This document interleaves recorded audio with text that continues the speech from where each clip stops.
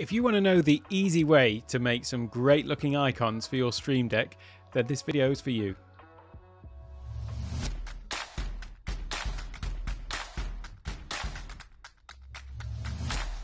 Hello and welcome to Take One Tech. My name's Alec. So if you're watching this video, it's probably because you've already got a Stream Deck and so you're looking to uh, add some nice looking icons to your Stream Deck screen. It's often the case that, you know, people have got this wonderful device that can do so much and you can program it to do all sorts of things, but if you haven't necessarily got the graphic skills to make those icons, then you can often tend to, you know, buy, download sporadic images from from this site and that site and so you don't get that sort of cons- consistent look and feel to your stream deck. Well i'm going to show you the easy way that you can do that now on your mac now, just for those that don't know what the Stream Deck is, I'll link to a full video explainer up in the top corner of exactly, you know, what a Stream Deck is and how you can use it. But just to give you a bit of an idea quickly, I shall flick over to mine now because the Stream Deck's actually what I'm using for switching between all of my scenes in Ecamm Live. I've done a video all about that as well, so I'll leave one of those in the top corner if I point to the right one. And so yeah, here basically it is just a, a device that is a got a series of keys on it, so slightly bigger than keyboard keys actually, but each key itself is in itself an individual screen. And that means that you can change the images that are on each screen so that it matches the, uh, the, the, use case that you have for the buttons. So here you can see my main scene. I've got my sharing my desktop screen here. Uh, this is my uh, mobile phone view. I've got my presenter view and flicking sides and various other different things in here. I've got this one as well, which is handy. When I press that, it brings up this uh, thing, which I, is a good time to mention not to forget to go and like this video if you're liking what you're watching and subscribe to the channel if you want to see more content like this. So all of this is activated from the Stream Deck. But how do we make these pretty looking icons? Well, it's very simple. And uh, as is often the case, I turn to Keynote. it seems like Keynote has a lot of other features outside of its uh, you know its main role as a presentation uh, software. I use it to make all the overlays and things like that that I use in Ecamm Live. So I'll link to a video I did all about that in the top corner as well. Uh, but we're going to use it now to create these icons, and it's actually really powerful for doing this. So let me just uh, flick over to my screen sharing now, and I'll show you the um, the way we're going to do that. So I've got uh, Keynote open and it's going to ask us to select a theme. Well, we're just going to use a blank one. And then we've got a couple of options here as to whether we use uh, a widescreen or the standard screen. So you would think that those are the two options, but as you'll see, uh, we can be a little bit cleverer and uh, get exactly what we want out of it. So it doesn't really matter which of those we select because I am going to go and change that afterwards. So now it's going to open up a blank page. So let's just get rid of that. And then what we want to do is go over to here and we'll go to the document setup. And then we want to come down to uh, this section just around here where it says slide size. So again, you can see the two uh, options we've got there are either standard 4 to 3 ratio or 16 to 9 widescreen. Well, we want to click on this custom slide size, and this allows us to make the slides absolutely any size we want. Now, the icons for the Stream Deck, uh, they basically are square, so we want a square size, and we don't need to be too big with the uh, resolution of it because it's only a small screen. And so let's set that at, for example, 600 by 600 pixels. It's probably a bit on the large side really, but it doesn't matter. These aren't going to be big files. So let's set that as 600 by 600. And now if I zoom out, we've got ourselves a nice little square, which is our canvas that we're going to use to build out our icons. Now the background color, this would be a good time to decide on what sort of colors we want for our background, but we're not going to change it in the slide itself. Rather, we're going to come over here to this format, and then instead of changing the background, which is what you would do here, for the individual slide, we're actually going into the slide master. So let's edit the slide master. And what we could do, if we wanted to be really clever about it, is we could just delete all of these different uh, uh, master slides. So I'm just going to go in and delete all of these. Uh, you don't absolutely have to do this, but it just is going to make things a lot easier to see, as you will find out a little bit later. So if I just delete all of these, unfortunately, you can't highlight them all in a master slide and just delete all of them together. But, but never mind. I'll go through and do it this way. So let's say that we want to have uh, buttons of various different colors. Well, we can do that in here because we can change now that we're in the master slide editor. And you'll notice you can see that we're in that because down at the bottom it said edit slide master. So we're still in that, that one there. And so now I'm going to change the color fill and I'm going to change it to a uh, red color. And then let me just duplicate this one and we can change the background color of that one to purple. And as you can see where this is going, we're going to create a number. Oops, a daisy. I didn't want to delete that one. I wanted to duplicate it. And then let's change this one to orange. So we're creating a series of different backgrounds. Now, obviously, you can create these in whatever color you want to match the uh, different colors that you use. Um, and you might want to have them all the same color, or you might have different color coded things for different tasks that you're going to use them for. But there we go. We've got four different potential uh, button colors. And incidentally, instead of just filling them a, a, plain color, you can also go into here and instead of color fill, you could change it to gradient fill and so that would then fill it as a, uh, a gradient. And you can change down here the uh, the colors that you're fading from and to. Or if you want to get really clever about it you can do advanced gradient fill. And that basically allows you to blend from one color to another from here to here. Or you can just double click and add in another one. So if we wanted we could fade from blue to uh, let me pull my color picker back across to red and back to blue again I mean, that looks pretty atrocious, really, doesn't it? But you get the idea. You can play around with that. You can change the angle of the fill and all sorts. So it's just done in this background color. Uh, you can also drop an image in there if you wanted an image for the background. But these are just all basically the backgrounds that we're going to be using for our buttons. So now we'll click done and now we've got by default one slide in here. So what we were looking at before were the sort of master slides, the main sort of backgrounds that we're going to be using. And then if any time we want to add in a new slide, we would just, or a new button, we would just click here, add slide, and you can see it lets us choose between the ones that we've set up. And that's why it was quite good to delete all of those ones that we didn't use with titles and things like that, because all we want to be able to see is when we want a new button, what is the background? And it just makes it very clear for us to pick the one that we want. So let's say we wanted a purple one in here next. Right, well, we've got that now. It's some backgrounds for our buttons, but how about the actual buttons themselves? How are we going to make those?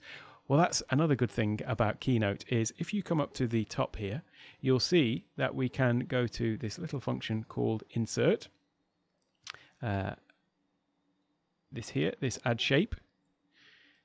And you click on that one, and now you can see we've got some shapes. So we could make a square. Say we were having a play button. We're going to use this to uh, play our uh, music on our Stream Deck or, or control our music from our Stream Deck we can click here and by the way you can scroll to you can drag these from the corners to resize them. But if you want to re, uh, rotate them if you just hold down the command key while you're hovering over the corner can you see how that changes from and sort of expand uh, let me see if I can highlight that. No it doesn't highlight the cursor. But yeah you can either drag it like that but if I hold down command then I could rotate it. So in that way we've got ourselves now maybe that could be a play button for example and if I go over to the color fill, I could change that to white or whatever color we wanted. And there we go, we've got the symbol of a play button. So let me come over to this other slide here and I'll go back up to the shapes at the top. The thing about Keynote is, and you've also got this in PowerPoint by the way, what I'm explaining here you could equally do in PowerPoint. I just find that Keynote is a lot easier to just uh, work around and get things done quite quickly. But you can see you've got all these other shapes and you've actually got a whole load of other shapes that are you know far from simple shapes. So let's say we wanted uh, volume. We've got a thing for that, and you can search, and it will find things that are similar as well. So we can just click on the volume. So now, if we want the uh, volume, we could have that as a volume up and change that color to whatever color we wanted. And incidentally, as well as the uh, fill, you can change the color, you can do the gradients and things like that that we could before. So if you want to get a bit more fancy with it, you can do that as well. Uh, or we, if we want to have a line through it, maybe we want to have like a mute button. So we could uh, click in here again. Let's go back to our shapes. And then let's go up to the top, clear that little search there. Go right back up to the top and we'll just put a line in. So now we've got a line there that we can select.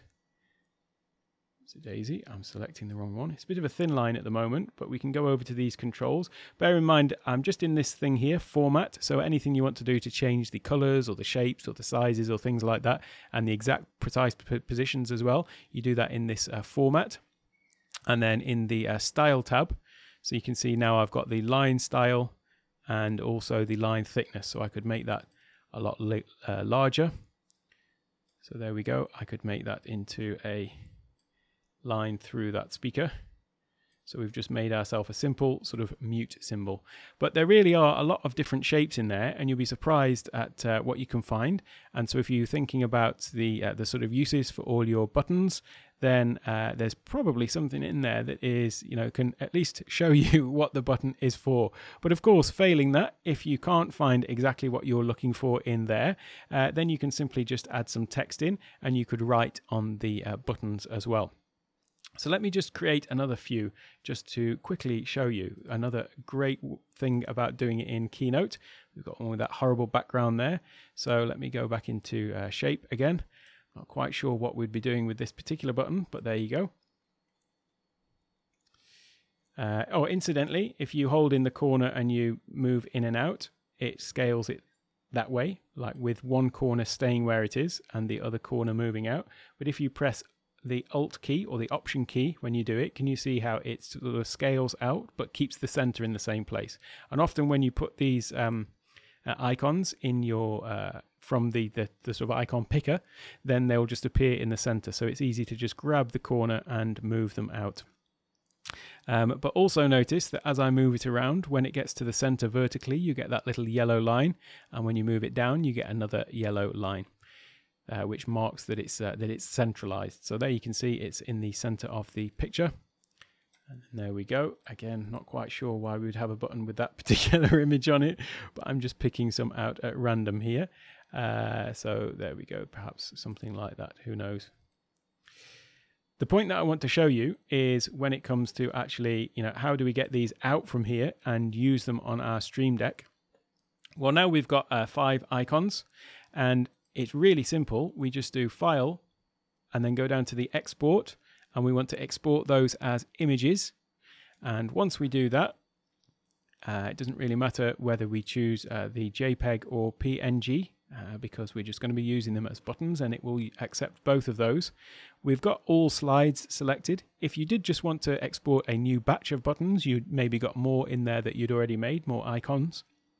Uh, then you could select the specific numbers. You can see how they're all numbered down the side. But we're going to export them all. And then what we'll do is we'll just click next. And it'll ask where we want to save that. So we'll just save this to our desktop. It's easy. To our desktop like that. And then we can just call these icons. And then what that has done now is it's given us a nice little folder on our desktop or wherever we uh, saved it. And it's right over on another monitor. But I shall open this up and you'll see what it's done. So although we've exported this as a presentation, what it has done is it has dropped these icons in a nice little folder, all individual files. And what that means is that if I was to go to my Stream Deck and here we go. I've got my Stream Deck here. So this is uh, just so that you can see, this is exactly the same, uh, replicating what you can see in my actual Stream Deck. So if I go to my uh, top-down camera, you can see it's uh, pretty similar. Not pretty similar, it's identical, in fact. So this is a representation of the Stream Deck. And here you can see I can change the icons. So if I wanted to change, let me just change this number five and say I wanted that to have uh, I wanted that to be that little alien head. Why not? I'll drag that one in there. And now if I go over onto my uh, top-down uh, camera again, there you go. You see it's appeared in there. That is how easy it is to create icons in Keynote. And as you can see, by doing them in Keynote, if I just go back there again, you can see that it is easy to create these and you can get this consistent look and feel. And if you actually really wanted to uh, get them that little bit tighter, what you can do is come down to this view menu as well and click on this show rulers or click Command R is the shortcut, and that gives you these rulers along the uh, the top and down the side. And then if you just hold into one of these this ruler area and drag down holding the mouse button. Uh, then you can drag down these sort of guides. And so you could maybe put whoops daisy you could maybe drag some guides over and put guides on either side. And then that way you've got this space in the middle and you could just size everything to uh, to fit into this area. And then that would really have all of your icons looking like they were sized uh, the same and uh, yeah, just have that consistent look and feel, really. So I hope you found this uh, useful. If you have found it useful, once again, don't forget to click that like button down below and subscribe to the channel because I'll be making lots more videos about how to use Keynote and Stream Deck and Ecamm Live all together. And so, yeah, you'll get notified whenever I do if you click that uh, notifications bell as well. That's all for this video, but don't go anywhere. We've got plenty more coming up in the videos just to the right.